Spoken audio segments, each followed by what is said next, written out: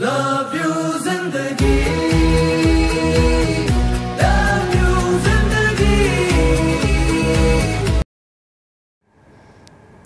Hello students, I'm back with the chapter 1 part 2 of 5th standard. जैसे कि मैंने last session में बोला था आपको कि इस बार हम एनिमल्स के बारे में बात कर रहे हैं एनिमल के सुपर सेंसेस के बारे में बात कर रहे हैं। So page number eight let's begin the chapter इसमें शार्प ईयर के बारे में दिया हुआ है और टोटली वो एक्टिविटी है क्वेश्चंस दिए हैं। आपको सिर्फ़ एक एक्टिविटी ट्राई करनी है ट्राई दिस वाली। फॉर दिस एक्टिविटी आपको एक शांत प्लेस पे जाना है स्कूल के या आपके घर के, और अपने फ्रेंड को बोलना है कि थोड़ा दूर खड़ा हो जाए। And ask him to say something very softly और उससे बोलना है कि बहुत धीरे से कोई भी चीज़ बोलो। And rest of you should listen carefully और आपको पूरी कोशिश करनी है कि उसने जो धीरे से बोला है, उसने क्या बोला है, वो आपको पहचानना है कि उसने क्या बोला। Then all of you put your hands behind your ears और फिर आपको दोनों हाथ अपने कानों के पीछे रखने हैं। एज जैसे कि आपको पिक्चर्स में दिखाया भी जा रहा है let the same child say something again as soft as before और उसको फिर से आपको फ्रेंड को बोलना है कि फिर से वही चीज़ दोबारा धीरे, जैसे पहले बोला था, वैसे दोबारा बोलनी है। In which which case was the sound sharper और आपको फिर याद करना है कि जब कान के पीछे हाथ नहीं रखे थे, तब ज़्यादा सुनाई दे रहा था, या सिंपल अब कान के पीछे हाथ रखे हैं, तब सुनाई दे रहा है। जैसा भी आपको लगा हो कमेंट सेक्शन में ज़रूर लिखिएगा। ओके नेक्स्ट है page number nine sit near a desk एक नई एक्टिविटी बहुत ही अमेजिंग है। और आपको फील होगा कि सही में ये सुपर सेंसेस काम आते हैं। सिट नियर अ डेस्क एक टेबल के पास बैठ जाइए। Take the desk once with your hand और एक बार टैप करना है। जैसे आप लोग क्लास में बैठते हो ना? और टैपिंग करते हो बार बार टेबल पे वैसे ही एक बार टैप करना है और उसको सुनना है। फिर उसी टेबल पे अपने कान के कान के साइड से सर को रखना है टेबल के ऊपर और फिर से टैप करना है। दोनों में क्या डिफरेंस है वो आपको फील होगा और जो भी डिफरेंस है वो आप कमेंट सेक्शन में ज़रूर लिखिएगा। और ये जिस तरह मैंने एक्टिविटी कराई, इसी तरह सांप जो है वो सुनते हैं। कि किस तरह कहाँ पर शिकार आ रहा है कहाँ पे मुझे शिकार करना है कहाँ पे मुझे अटैक करना है इसी तरह सांप समझता है। यानी कान क्यों क्यों? Because they do not have external ears सांप के कान नहीं होते। सो so, आपने देखा होगा अब आप मैंने बोला कि सांप के कान नहीं है तो आप लोग सोचोगे लो सपेरा जब आता है और वो बीन बजाता है तो तो सांप आ जाता है। फिर कैसे? उसे कान कैसे नहीं होते? एक्चुअली वो सपेरे के आवाज़ सुन के नहीं आता। उसको सपेरे को देख के लगता है कि वो अटैक करने वाला है, इसलिए वो मुँह घुमाता है। और हमें लगता है कि सपेरे की आवाज़ से कर रहा है। एक्चुअली उसके कान होते ही नहीं हैं। वो ज़मीन की वाइब्रेशन को महसूस करते हुए सारे काम करता है। कितनी अमेजिंग चीज़ है ना? कान ना होते हुए भी वो कितनी चीज़ें सुन सकता है, महसूस कर सकता है सिर्फ़ ज़मीन के या हवा के रुख से। Sound and messages high up the tree tree के ऊपर आपने देखा होगा बहुत सारे बंदर, लंगूर बैठते हैं। फिर उनकी आवाज़ें भी कभी कभार चेंज होकर वो बोलते हैं। एक्चुअली वो वार्निंग बेल है, उनकी वार्निंग साउंड है लैंग्वेज है। अगर आसपास कोई टाइगर होगा या चीता होगा लेपर्ड होगा तो उनकी वार्निंग की आवाज़ अलग होगी। यानी अगर लेपर्ड या टाइगर हमारे लंगूर के आसपास होगा तो वो वार्निंग के रूप में आवाज़ निकालेंगे ताकि आसपास के जितने भी लंगूर हैं, अलर्ट हो जाएँ और जितनी जल्दी हो सके सेफ़ प्लेस पे चले जाएँ। The langur does this by making a special warning call और उनकी एक स्पेशल, जैसे कि हम लोग को उनकी भाषा समझ में नहीं आती, वो भी हमारी भाषा इतनी जल्दी समझ नहीं सकते तो यही लैंग्वेज गैप है हम दोनों के बीच में एनिमल्स के बीच में, लेकिन उनके आपस में जो कम्युनिकेशन है, वो बहुत स्ट्रॉन्ग है और वो तुरंत वार्निंग कॉल के रूप में साउंड निकालते हैं ज़ोर ज़ोर से, ताकि सबको, सारे लंगूर्स को पता चल जाए कि आसपास टाइगर आ गया है या लेपर्ड आ गया है। सेम थिंग होती है बर्ड्स के साथ भी। बर्ड्स की भी अलग अलग कॉल्स हैं अलग अलग कॉल्स का मतलब यहाँ पे फ़ोन कॉल नहीं है स्टूडेंट्स कॉल का मतलब है आवाज़ें निकालना, उनके साउंड जो बर्ड होती हैं, वो भी वार्निंग करती है, अगर आसपास कोई डेंजर है एनिमल है या इंसान घूम रहा है, उसको डर लग रहा है अगर बर्ड को तो बर्ड ज़ोर ज़ोर से वार्निंग की आवाज़ निकालेगी, ताकि सारी बर्ड्स जो हैं वो अलर्ट हो जाएँ और कोई भी उनका शिकार ना कर पाए। Some bird even have different sound for different kind of danger अब सोचिए, जैसे कि जिस तरह हम लोग के लिए हम भाषा यूज़ करते हैं, जो भी प्रॉब्लम आती है, हम उसको बोल देते हैं कि ये प्रॉब्लम है, वैसे ही बर्ड्स का भी है। कौन किस तरह का डेंजर आया है, वो अपने साउंड से दूसरी चिड़ियों को बोल देते हैं। अगर कोई शिकार करने आया है तो उसका जो साउंड होगा, वो अलग होगा, या कहीं अर्थ को आया है तो उसका साउंड अलग होगा। कुछ अलग अलग डेंजर्स के अलग अलग लैंग्वेजेस होती हैं उनके लिए। फॉर एग्ज़ाम्पल उनके लिए डिफरेंट डिफरेंट आवाज़ें वो निकालते हैं। अगर कोई एनिमी बर्ड का एनिमी कोई भी एनिमी जो है, वो अगर आसमान से आ रहा है अटैक करने के लिए तो उसकी आवाज़ वो अलग निकालेंगे बर्ड्स और अगर कोई एनिमी ज़मीन से चढ़कर पेड़ पर आ रहा है या कहीं पे भी आ रहा है, जो बर्ड को नुकसान दे सकता है तो उसकी आवाज़ वो अलग निकालेंगे। कितनी अमेजिंग चीज़ है। बिना भाषा के बर्ड्स अब आपस में ही कम्युनिकेट कर लेते हैं कि शिकार जो है वो आसमान से आ रहा है या ज़मीन से। फ़िशेस का भी यही हाल है स्टूडेंट्स लेकिन फ़िशेस जो हैं जो दूसरी फ़िशेस को अलर्ट करने के लिए इलेक्ट्रिकल सिग्नल्स देते हैं। जैसे हम फ़ोन कॉल करते हैं तो वो वाइब्रेशंस जाते हैं ना, उसी तरह और जो शिप जो फ़िश है फ़िश बोल तो पाती नहीं है। तो फ़िश क्या करती है?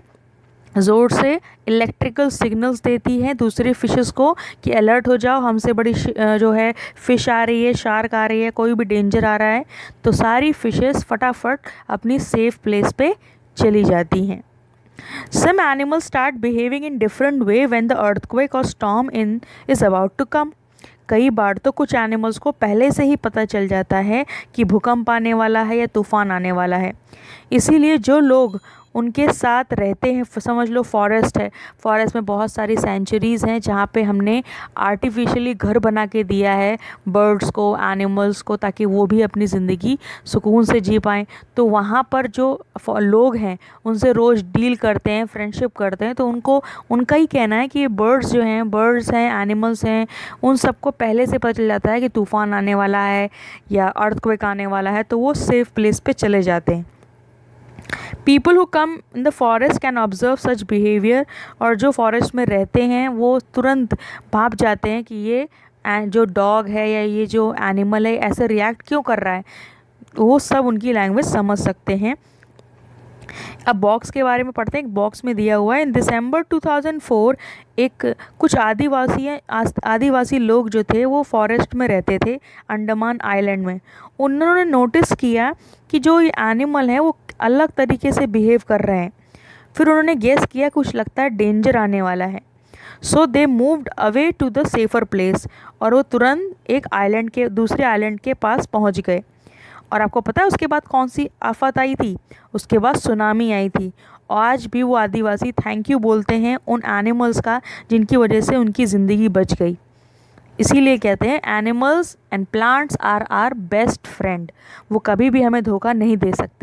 इसीलिए आपके आसपास के एरिया में जितने भी मेंबर हों आपकी फैमिली में, प्लीज़ प्लांट उगाइए।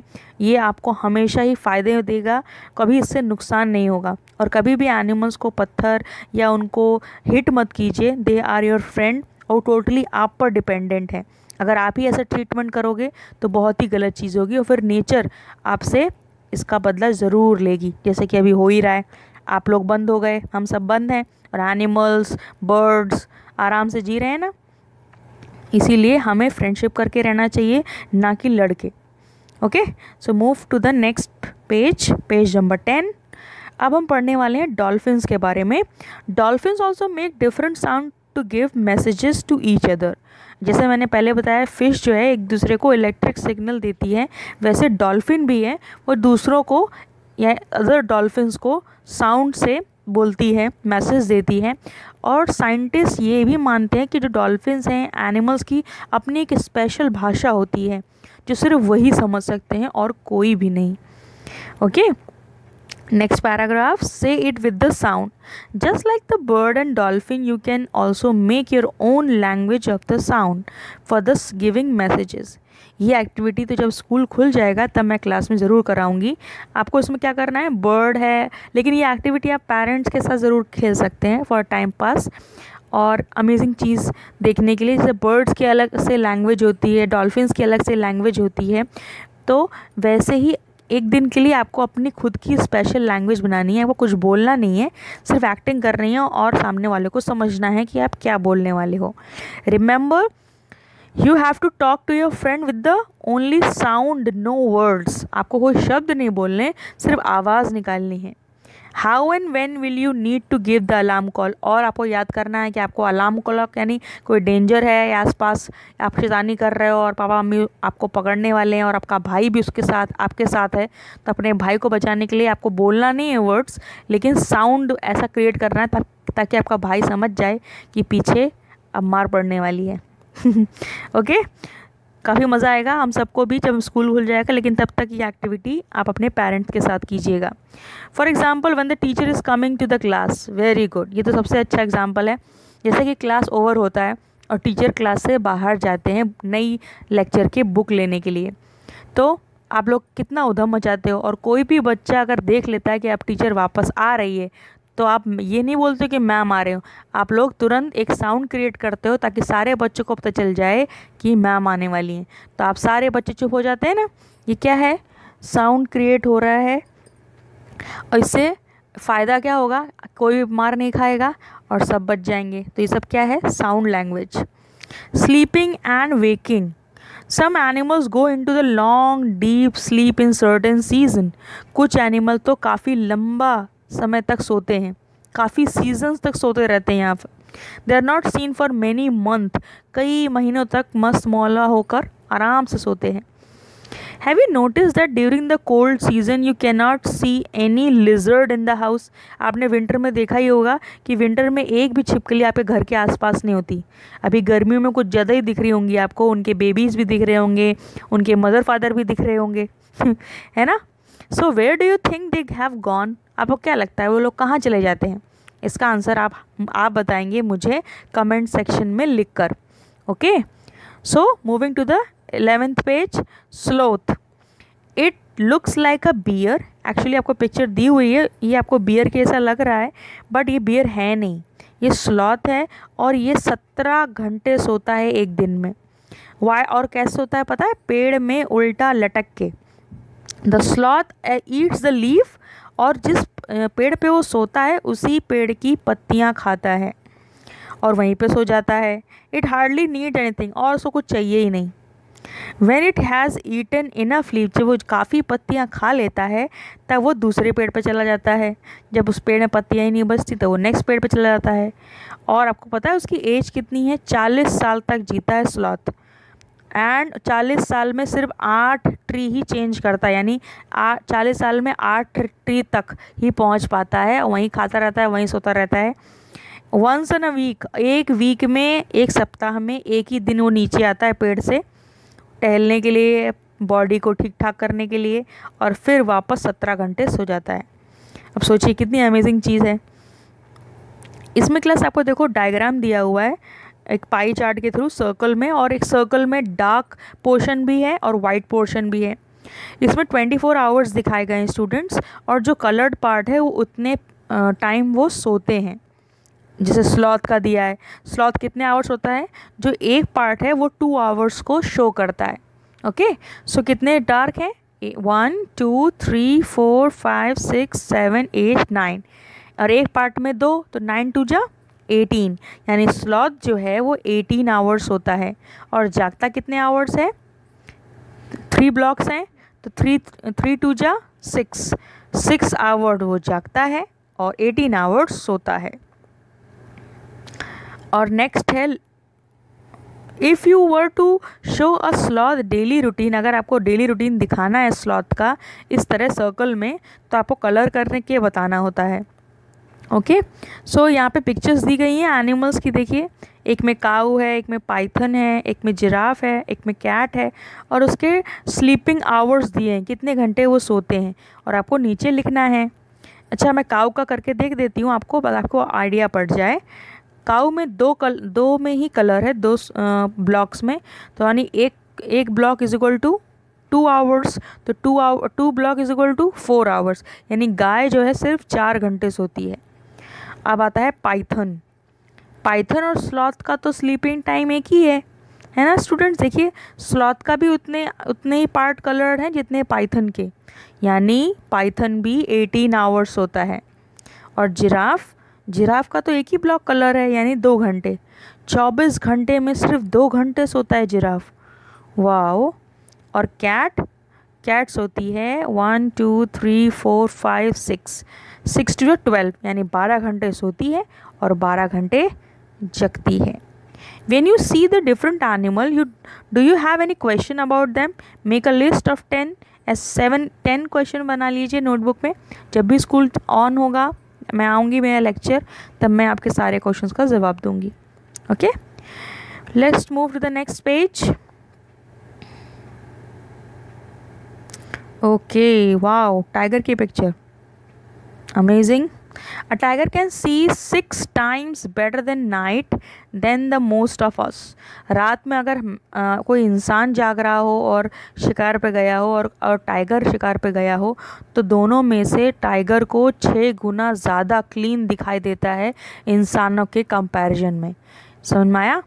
कितनी अमेजिंग चीज़ है, यानी शेर के सामने हमें शिकार तो कभी जाना ही नहीं चाहिए। और अंधेरे में कभी ये मत सोचिएगा कि शेर आपको देख नहीं पा रहा। शेर आपको सिक्स टाइम बेटर देन जितनी अच्छी तरह आप टाइगर को देख पा रहे हैं, उससे सिक्स टाइम अच्छी तरह टाइगर आपको देख पा रहा है। Okay tigers whiskers are very sensitive and can sense the movement and vibration in the air they help the tiger move in the dark and find its prey tigers की मुझे दिख रही हैं आपको पिक्चर्स में? देखो, इसको विस्कर्स हैं। ये विस्कर्स जो हैं बहुत ही सेंसिटिव हैं। हवा के रुख से पता चल जाता है इसको कि कहाँ पे शिकार बैठा हुआ है। और इससे ही पता चलता है अंधेरे में भी, अंधेरे में भी इसके विस्कर्स से ही पता चल जाता है कि इसका शिकार कहाँ बैठा हुआ है। Tiger sense of hearing is so shar sharp that it can make out difference between rustling of leaves and sound of animals moving the grass, and the ears of the tiger can move in different direction, and this helps to catch the sound from all around. Tiger का सुनने की शक्ति इतनी ज़्यादा तेज होती है students कि ये दो आवाज़ों में तुरंत फ़र्क पता कर जाता है। कैसे? दो आवाज़ें कैसे अगर पत्तियों की खरखराहट हो रही है तो वो जान जाएगा। और दूसरी तरफ़ अगर कोई जानवर पत्तियों के ऊपर चलता हुआ आ रहा है या कोई एनिमल या इंसान पत्तियों के ऊपर चल रहा है तो दोनों का, दोनों की आवाज़ वो तुरंत पहचान लेगा कि पत्तियाँ अपने आप घिस रही हैं कि कोई इंसान उसके ऊपर चल के आ रहा है। कितनी सेंसिटिव चीज़ है और बहुत ही महीन चीज़ है स्टूडेंट हम तो कभी भी सुन के पता नहीं कर सकते कि ये इतनी अमेजिंग चीज़ जो टाइगर समझ रहा है। और किस डायरेक्शन से आ रही है, आवाज़ वो भी पता कर जाता है वो। उसके जो कान है ना, बहुत ही सेंसिटिव होते हैं। दूर दूर तक उसको आवाज़ बहुत जल्दी सुनाई देती है। Tiger can make different sound for different purpose tiger भी अलग अलग साउंड निकालता है अलग अलग पर्पस के लिए अगर उसको अपनी टाइगरेस को बुलाना है या गुस्सा दिखाना है, उसकी आवाज़ अलग होगी। रोर, यानी तो दहाड़ता है ज़ोर से सिंगम स्टाइल में। तो उसकी आवाज़ अलग होगी। आपको पता है, अगर वो दहाड़ेगा ना तो तीन किलोमीटर तक उसकी आवाज़ सुनाई देगी। सोचिए आप, कितनी पावरफुल आवाज़ है उसकी। Each tiger has it own area her tiger का अपना एरिया होता है और काफ़ी किलोमीटर तक फैला होता है उसका एरिया टाइगर का जो मार्क होता है, उसका जो एरिया उसको कैसे पता चलेगा क्योंकि मैं कैसे मार्क करूँ अपना एरिया तो वो अपना एरिया मार्क करता है यूरिन से। Okay okay? वहाँ पे यूरिन फैला देगा तो उससे पता चलेगा कि ये मेरा एरिया है। और अगर दूसरा टाइगर गलती से भी उसके एरिया में आ गया तो वो तुरंत समझ जाएगा। Okay okay? और इसीलिए गलती से भी कोई भी टाइगर दूसरे टाइगर के एरिया में नहीं जाते। इसी डर से। Tiger is one of the most alert animal सबसे ज़्यादा अलर्ट है, हमेशा स्फूर्ति एक्टिव रहता है, फटाफट भले वो सो रहा हो, जहाँ उसको आवाज़ आए कि कोई शिकार पे हो, तुरंत भागना चालू कर देगा। And yet today tiger are in danger फिर भी टाइगर आज बहुत डेंजर में है स्टूडेंट्स आपको पता है टाइगर टाइगर के अलावा बहुत सारे एनिमल्स हैं जिनको मारा जाता है, उनके पार्ट्स बेचे जाते हैं. एलिफेंट को मारा जाता है उसके दांतों के लिए राइनो को मारा जाता है उसके सींगों के लिए. एक अमेजिंग चीज़ है स्टूडेंट जो राइनो की जो सींग होती है, उससे बहुत सारी मेडिसिन बनती हैं. कितनी अमेजिंग चीज़ है, सींग से भी मेडिसिन बन रही है. टाइगर, क्रोकोडाइल, स्नेक, ये उनको मारा जाता है उनकी स्किन के लिए, मस्क, डियर को मारा जाता है उन, परफ्यूम बनाने के लिए। जो लोग एनिमल्स को मारते हैं, उन्हें हम हंटर्स कहते हैं और पोचर्स कहते हैं। ओके? सो, हम लोग कहते हैं ना, हंटर्स आ गए हंटर्स तो पुरानी इंग्लिश हो गई, ओल्ड इंग्लिश। अब अच्छी इंग्लिश, जो अच्छे बच्चे जिनको ज़्यादा अच्छी इंग्लिश इम्प्रूव करनी है तो आगे से वो हंटर्स नहीं बोलेंगे। क्या बोलेंगे? पोचर्स। ओके? और सबसे बुरी चीज़, पता है क्या है? हम लोग डिमांड करते हैं शूज़, शॉक्स, लेदर की, तभी तो वो लोग उनकी स्किन निकालते हैं। अगर हम उन डिमांड ही नहीं करेंगे तो कोई एनिमल्स को मारेगा ही नहीं।